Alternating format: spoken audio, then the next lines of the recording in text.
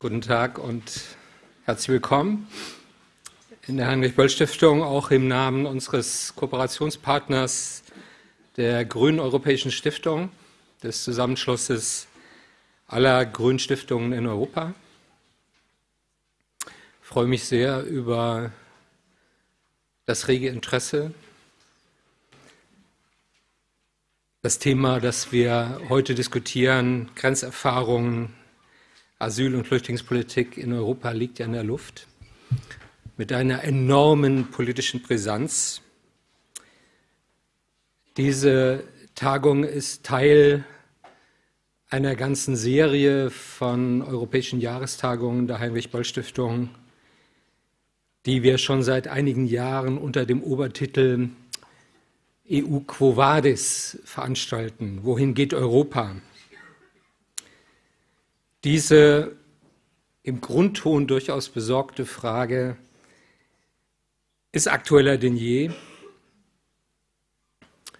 auch wenn man sich bewusst ist, dass die Geschichte der Europäischen Union eigentlich von Anfang an von Krisen begleitet war.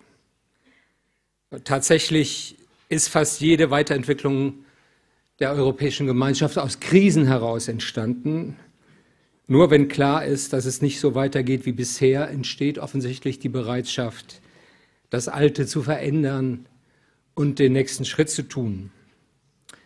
Mit ein wenig historischem Optimismus könnte man also sagen, die Krise ist das Lebenselixier der Europäischen Union, ähm, ein Katalysator für ihre Weiterentwicklung. Aber diesmal ist alles andere als sicher, ob wir es wieder mit einer Wachstumskrise der EU zu tun haben. Der Weg zur berühmten Ever Closer Union, also zur immer engeren politischen Union, ist keineswegs irreversibel. Wir sind mit äußeren Herausforderungen und inneren Zentrifugalkräften der EU konfrontiert, die die reale Gefahr einer Desintegration in sich bergen. In Ungarn und Polen regieren nationalkonservative Parteien, die in der Union eine Bedrohung ihrer Souveränität sehen. In Österreich konnten sich die proeuropäischen Kräfte mit Mühe und Not bei der Wahl des Staatspräsidenten behaupten. In Frankreich greift Marine Le Pen nach der Präsidentschaft. In Großbritannien droht der Brexit. Lauter Tretminen die uns um die Ohren fliegen können. Das große Thema unserer Tagung heute ist der Umgang mit der Massenzuflucht nach Europa. Die Fluchtbewegungen von Hunderttausenden im letzten Herbst haben massive Verwerfungen innerhalb der EU hervorgerufen, zwischen den Mitgliedstaaten und in unseren Gesellschaften. Die Flüchtlingsfrage war Katalysator aber nicht Ursache für Widersprüche, die sich schon länger anbahnten. Wir sind heute mit einer massiven Herausforderung der liberalen Demokratie konfrontiert. In unserer Nachbarschaft spielt sich ein autoritäres Rollback ab, von Russland bis nach Ägypten. Der arabische Frühling mündete in eine Orgie der Gewalt. In unserer östlichen Nachbarschaft hat Russland den Rückweg zu Autoritarismus und militärischer Machtpolitik angetreten. Der Kreml ist heute das Hauptquartier einer antiliberalen Internationale, das Zentrum eines Netzwerks von Medien und Parteien, die eine antiliberale Agenda verfolgen. Sie wenden sich gegen die europäische Integration, gegen das transatlantische Bündnis, gegen offene Grenzen und offene Märkte machen Stimmung gegen Flüchtlinge aus anderen Kulturkreisen, schüren Ressentiments gegen den Islam, wenden sich gegen die Gleichstellung von Schwulen und Lesben und propagieren einen plebiszitären Volkswillen gegen die repräsentative Demokratie. Insofern war die Präsidentschaftswahl in Österreich keine Eintagsfliege. Nationalistische, fremdenfeindliche und autoritäre Gegenbewegungen ziehen sich durch ganz Europa. Es ist billig, mit dem Finger vor allem nach Mittelosteuropa zu zeigen. Auf Ungarn, Polen oder die Slowakei. Wir haben vergleichbare Entwicklungen in Frankreich, in Skandinavien und auch bei uns. Das zeigt sich eben auch und vor allem in der Flüchtlingsfrage. Die Tage der heiteren Willkommenskultur sind auch in Deutschland vorbei. Trotz des anhaltenden und bewundernswerten Engagements Hunderttausender freiwilliger Helfer.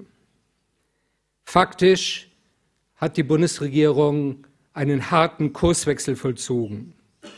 Von der humanitären Grenzöffnung im letzten Herbst zur Abschreckung.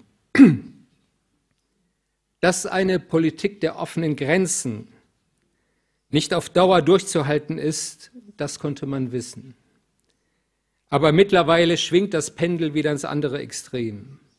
Schutz der Außengrenzen ist zum kleinsten gemeinsamen Nenner europäischer Flüchtlingspolitik geworden. Die vergangenen Monate haben gezeigt, wie brüchig das Narrativ von der Europäischen Union als Raum der Freiheit und des Rechts ist. Die Bewegungsfreiheit von Flüchtlingen wurde systematisch beschnitten, das Prinzip der offenen Grenzen innerhalb des Schengen-Raums vorübergehend außer Kraft gesetzt. Nationale Alleingänge traten an die Stelle europäischer Kooperation und Koordination. Die Genfer Flüchtlingskonvention wurde faktisch ausgehebelt. Europäische Regierungen bekennen sich ganz offen dazu, dass nationale Interessen über dem Völkerrecht stehen. So ist die Flüchtlingskrise zu einer Krise der EU geworden. Das gilt auch für unsere internationale Glaubwürdigkeit. Eine engherzige, vorwiegend auf Abwehr gerichtete Flüchtlingspolitik wird das Bild Europas in unseren Nachbarregionen nachhaltig verdunkeln. Das gilt umso mehr für viel ärmere Länder, die in viel größerem Umfang als wir Flüchtlinge aufgenommen haben. Was sollen sie von einem Europa halten, das vor allem darauf, äh, das vor allem darauf abzielt, sich gegen die Not der anderen abzuschotten? Was sind mögliche Alternativen? Was sind Wege einer europäischen Flüchtlingspolitik, die sich humanitären und völkerrechtlichen Prinzipien verpflichtet fühlt, ohne ihre eigenen Gesellschaften zu überfordern? Unsere Tagung soll keine bloße Tribüne für moralische Anklagen und idealistische Appelle sein, sondern ein Forum für die Suche nach realistischen Antworten auf die Flüchtlingsfrage. Im Kern geht es um eine Politik der Steuerung und Regulierung als Alternative zu einer Politik der Abschottung. Was könnten Eckpunkte einer solchen Politik sein? Es gibt offenkundig keine akzeptable Lösung im, im, nationalen Alleingang. Das gilt allerdings nicht nur für den Ruf nach Abschottung der nationalen Grenzen. Es gilt auch für die Forderung, die Bundesrepublik solle ihre Grenzen im Alleingang öffnen. Auch das ist eine Erfahrung aus dem letzten Herbst. Die Entscheidung des Bundeskabinetts und wohl vor allem der Bundeskanzlerin angesichts des Flüchtlingsdramas, das sich in Ungarn aufbaute, die Grenzen der Bundesrepublik für Flüchtlinge zu öffnen, war richtig. Sie war es aus humanitären Gründen und aus europapolitischen Gründen. Aber gleichzeitig war sie ja der Form nach unilateral. Sagen, ohne Abstimmung, ohne Konsultation, ohne Koordination mit unseren europäischen Nachbarn. Und das war Teil der Konflikte, die sich dann daraus entwickelt haben. Auch eine bloß europäische Lösung der Flüchtlingsfrage ist irreal. Wir brauchen kooperative Arrangements mit unseren Nachbarregionen im Osten und im Süden. Also Zusammenarbeit mit den Ländern, aus denen die Flüchtlinge kommen oder in denen sie gestrandet sind. Dazu gehört auch die Verbesserung der Lage der Flüchtlinge vor Ort, insbesondere in der Türkei in Jordanien oder im Libanon. Teil dieser kooperativen Arrangements, dieser multilateralen Flüchtlingspolitik müssen auch Vereinbarungen über die Aufnahme von Flüchtlingen aus diesen Zwischenländern in die Europäische Union sein. Das bedeutet, legale Zugangswege für Flüchtlinge zu öffnen. Es führt kein Weg an entsprechenden Vereinbarungen mit der Türkei vorbei. So groß die Zumutung gegenwärtig scheint, mit Erdogan überhaupt politische Vereinbarungen zu treffen. Aber die Türkei ist ein zentraler Eckstein für eine solche über Europa hinausreichende Regelung der Flüchtlingsfrage.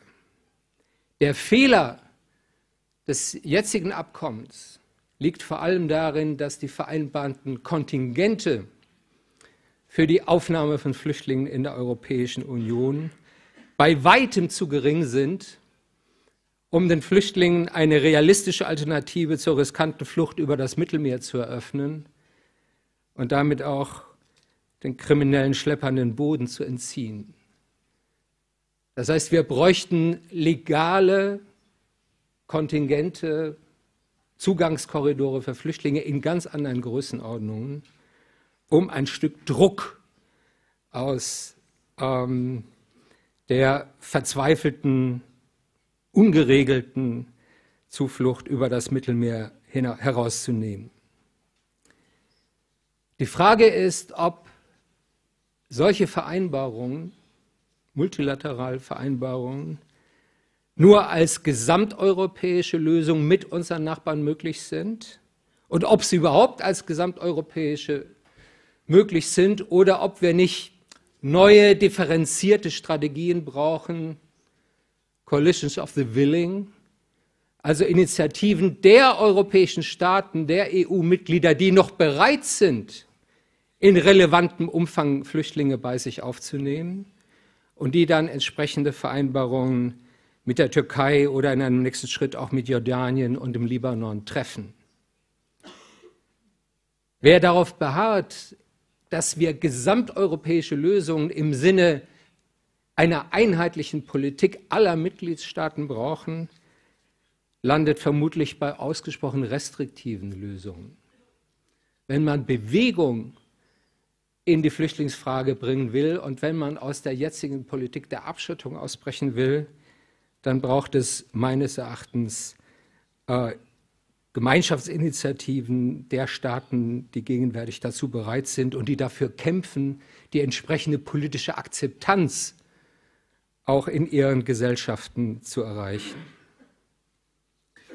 Und ein letzter Punkt für ein solchen Rahmen für Eckpunkte einer anderen Flüchtlingspolitik ist eine engere Verzahnung von Flüchtlingspolitik mit einer langfristig angelegten Einwanderungspolitik in die Europäische Union. Dazu gehört auch die Statusfragen zu klären.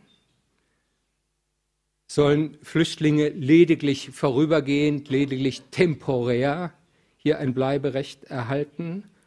Oder sollen sie langfristig als Zuwanderer in unsere Gesellschaft integriert werden? Das bedeutet auch, erleichterte Übergänge zu schaffen zwischen Flüchtlingsstatus und Einwanderungsstatus.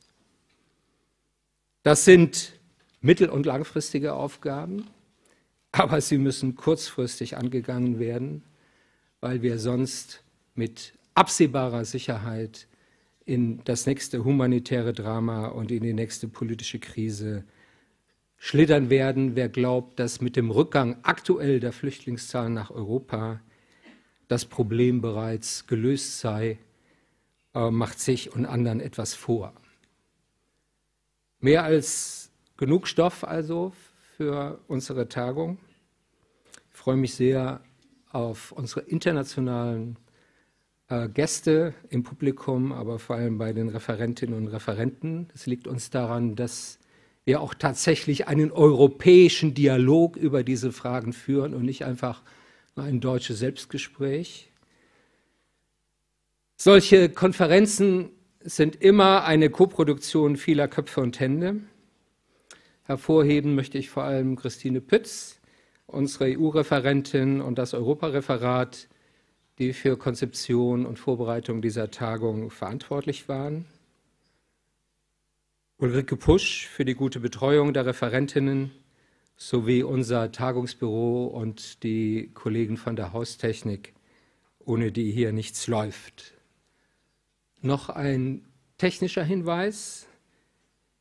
Wir kämpfen gerade mit einem partiellen Ausfall unserer Gebäudekühlung. Obwohl die Sonne heute nicht so prall scheint, könnte es also sein, dass sich im Verlauf des Tages nicht nur die Gemüter erhitzen, sondern auch der Saal etwas wärmer wird als sonst. Wir bitten um Ihr Verständnis. Genug der Vorrede, wir kommen jetzt zum Eröffnungsvortrag. Ursprünglich war Sven Biskop vom Egmont-Institut Brüssel für die Eröffnungsrede vorgesehen. Er musste leider kurzfristig absagen. Umso dankbarer sind wir, dass Roderick Parks kurzfristig eingesprungen ist. Freut uns sehr und er ist mehr als ein Ersatz.